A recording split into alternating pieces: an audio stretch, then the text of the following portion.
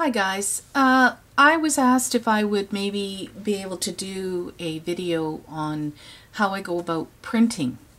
Um, I'm going to try this and see if it works. I've had to move my camera and everything and um, I already filmed it once but you know it was just not a really good angle. So we'll try this again and see what happens.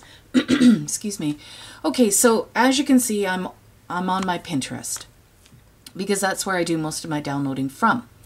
So I'm just going to go ahead and, and try and make this as easy as possible. And please forgive me if you already know some of this stuff.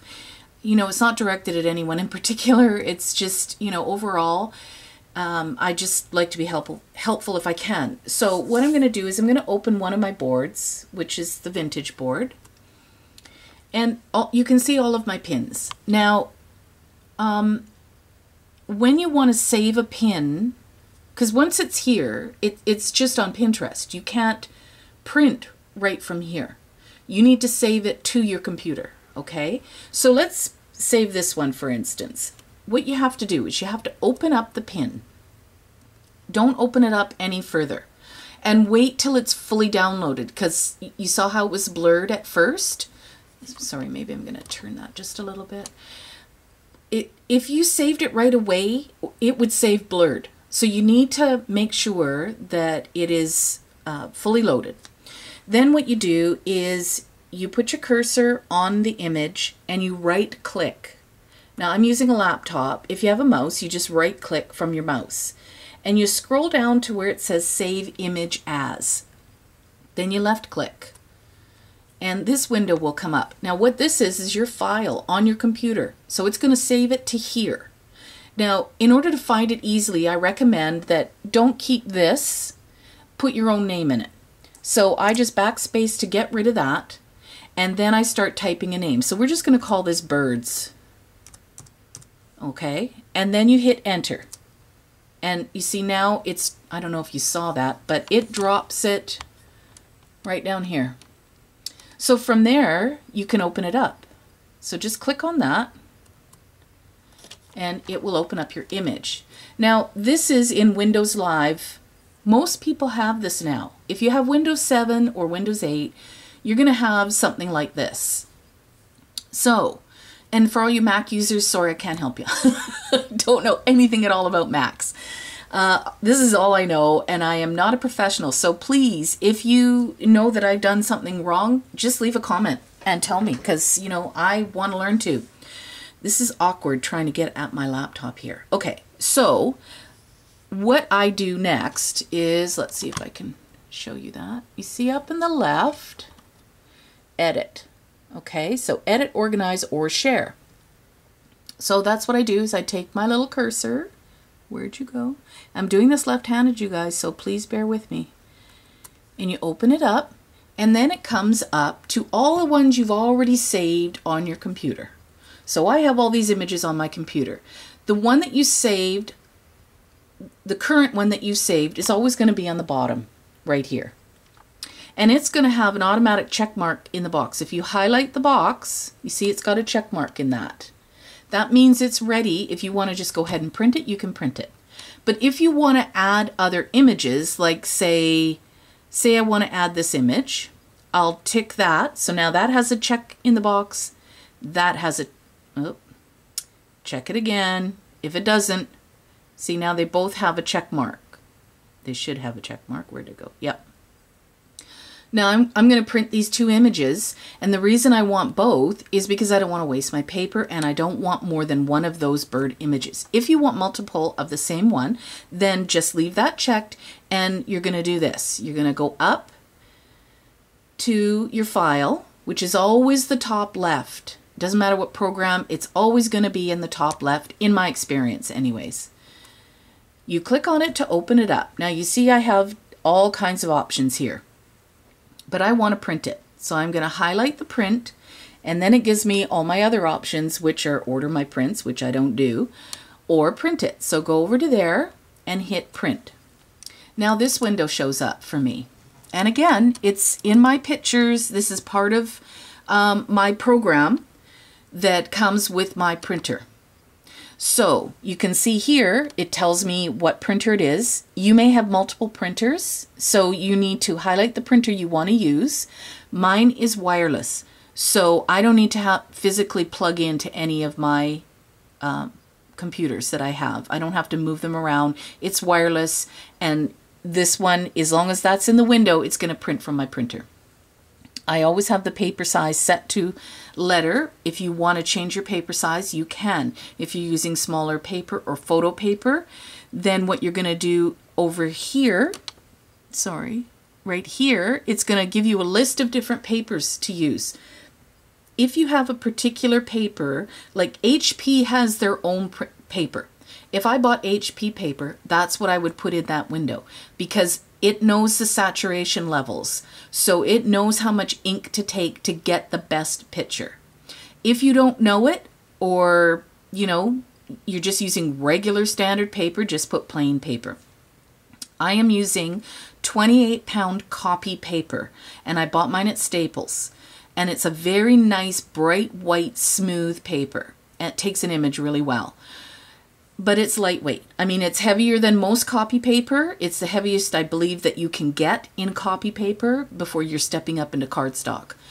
Uh, so that's what I use. I always print on normal. I don't want to waste the the higher the image, the more ink you're going to use. Normal is fine. If you've got a good printer, normal is fine. You don't need to go any more than that. Unless you're printing photos. That's a whole nother ballgame. Okay, anyways, I want this picture, but I don't want a full page. So I'm going to go down to this one. No, is it that one? Or is it this one? Wait a minute. It's this one. This is a 4 by 6 So this is like a postcard size or a photo size. And I use a lot of postcards uh, in my junk journals. So this is a size that I like. And as soon as you click on that, because you've saved two images to be printed, it automatically will put them on there. Now the other thing you need to know is right here it'll say fit picture to frame. What that means is if you're saving a, a an image and it's maybe not rectangular in shape, it might be a little bit on the square side. If you take this tick mark out, you see it will change the actual size of the print. This is what it was saved at. That's not what I want it to print at. So it's going to automatically stretch it for me. And that's how I get my photos. I only want one copy, so I'm going to go ahead and print. Now, in your options, you can, you know, do a lot more to it. Um, but this is standard. This is just go ahead and print. So that's what I'm going to do. So it's now um, shot over to my printer.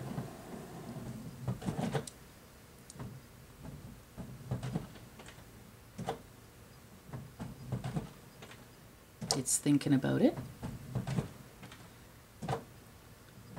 What it's really doing is uh, preparing the ink heads. And here it comes.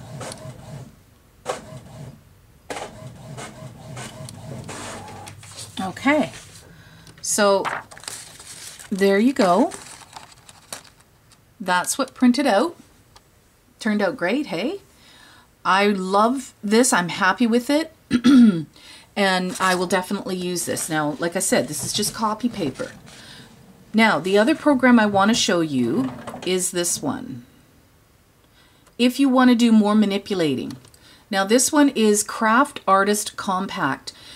This is the free version that you can download from the internet. Just Google Craft Artist Compact and you can download this. You can buy the program I'm not paying that price because it is $39.99. That's UK dollars. Yeah, I'm not paying that. So I'm I'm happy with just the free version. but there are similar programs out there that will do this if you want your own program say you want to add text boxes and you know do all that kind of manipulating there are definitely programs out there um, I wouldn't go with Photoshop just unless you've got lots of money and plan on doing all kinds of cool things. I don't have the time or the patience for that. And I just want to print what I want to print. The reason I downloaded this is because you can do a little bit more manipulating. So what I've done um, this is, I've already saved this. So what I'm going to do is just get out of it and, whoops, and go um, to the beginning. So let's start with going up to File and hit New. And I'm going to start from New Craft Project. And I don't want the Startup Wizard because I don't really care. Although, let's do it for your sake. So we start here. This is what will happen when you open it up. This is what it'll look like, this window here. I always choose blank project. And then it gives you all kinds of different layouts that you can choose. I always do this one um, because that's the size of my paper, eight and a half by 11. So you click on that and then you go down to OK and then this will come up. Now you can insert these. I don't want them. So I just exit out here. Now I've started with a blank canvas. So then I'm going to go over to the top left. I hope you can see this. Maybe you can't. Hang on. There we go. I think you can see that now. Okay. You go into Insert Photo from your file because they're on your computer, you have saved them. And then I can choose this one and open that. And now, if you could see what I'm doing here, you guys, you'd laugh. Um, I have, my son calls them T-Rex arms. They're very short. And yeah. Okay, so as soon as you click anywhere on the page, your image will drop. So let's move the image so you can now see it. And it, it drops at a certain size. So, uh, oh, good grief. See, this is, hang on. Really difficult doing one-handed here. I'm going to move that again. Okay. I want to drop it right into the corner and I want to move my page up so you guys can see it. There we go. Now you'll notice there's a ruler here and there's a ruler on the left. I don't know if you can see that. There. There's a ruler on the left here. If you know specifically the size that you want it to be, you can do that. So it is already at five and a half, which is what I want, and I want it seven. Now it's a little bit longer than seven inches, so I'm going to shorten it a little. All you do is go down to the box at the bottom, there, put your cursor on it. See, now it's got an arrow up and down. That means you can move it. So you just hold the left button down on your mouse and then move it until you get the size you want. See, see that black ruler on the left? See that's moving? So now I'm going to drop it onto 7. Now it's 7 inches long. Now I don't want to waste my page. Because this is just a introductory thing, if you had like a full program, you could you could copy and paste it and have two of the same images if you want. It doesn't have that option in you know, just your basic um, program. Sorry, I'm having a brain fart. Anyway, I want another image. I don't want the same image. So what I'm going to do is click off so that the blue around it disappears. I'm going to go back up into Insert to my photos from my file and I'm going to choose another image. So let's choose the butterfly and we're going to open that. Now see he's on, can see that little square there? Picture's not there yet, but what that's allowing you to do is just move it. So I'm going to butt it right up to here and click, and then it opens up. Then I'm going to do the same thing. I'm going to use my ruler up here, and I'm going to move him till he says 5. And then I'm going to shorten it till it says 7. You see on the left, or sorry, the right-hand side, the inches come up. So you can actually do it that way. You don't have to do it by eye or guesswork. So you see it's changing size there. Okay. I'm going to stretch it just a little bit more. Close enough. Okay, so now I have two inch, two images. This one is actually the wrong size. See, it now says five and a half. I don't want that. I'm going to click back on this image and I'm going to shorten it or make it skinny. and then I'm going to move this guy over and he's on the 5. So now they're both 5 by 7 and I'm happy with that. If you're happy with that and you think possibly you would use it again, you can save it over in the corner here. You hit this button to save. It'll come up with a window, you name it, and then it's saved in this program. So the next time you want to use it, you just find it and open it up. So we're going to print this because I want to show you this next step. You go up into File, and you go down to Print. Now this window comes up. Okay, so it's recognized my printer. It tells me I have one document, two on the sheet, so it tells you that. You're going to print it in as in document, so that means you're going to print it like it looks right there. If you don't want to change anything else, you're good to go. Say you want to shrink it to the paper size. Click on that and it'll it'll change that. Best fit can't do it because it won't fit according to that. It does, but it says it doesn't because there's actually two images there and it's it's saying one image fit to size, second image fit to size. Well, you can't do it if it's on the same page. So you can do maybe scale to size, but I always use this one because I've already manipulated it. So that's my document. I can print it that size. Okay? So we're going to go ahead print and see what happens.